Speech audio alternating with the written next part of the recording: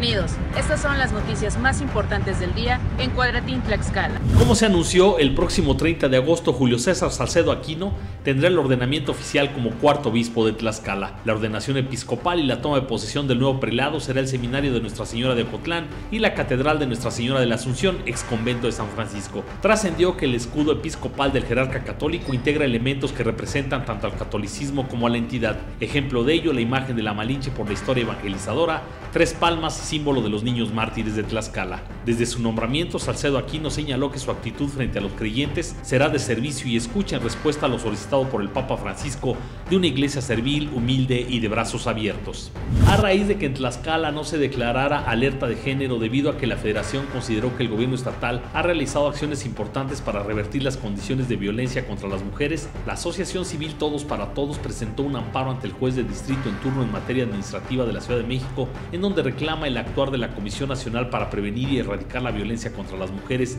y la Secretaría de Gobernación. Por ello, la presidenta de la Comisión de Igualdad de Género y contra la Trata de Personas del Congreso Local, Guadalupe Sánchez Santiago, aseguró que es necesario conocer las estadísticas respecto a los casos de muertes de mujeres por feminicidio o víctimas de trata de personas. Jóvenes integrantes de asociaciones civiles presentaron la primera carrera Color Rice Jóvenes con Causa para el próximo 13 de agosto, con motivo del Día Internacional de la Juventud, con la finalidad de reunir material para niños de escasos recursos de los municipios de Españita y Guamantla. María Fernanda Hernández, integrante de la red de jóvenes, voluntarios de los Objetivos de Desarrollo Sostenible que corresponden a salud y bienestar, igualdad de género, así como paz y alianzas por la Organización de las Naciones Unidas, informó que los participantes se podrán inscribir por medio de la aportación de cinco artículos escolares como libretas, cuadernos, cajas de lápices, gomas, colores, juegos de geometría, pegamento en barra y cajas de sacapuntas. Campesinos ejidatarios del municipio de Coapiastla impidieron los trabajos de una empresa constructora que intenta edificar un puente en la carretera federal México-Veracruz para comunicar a la autopista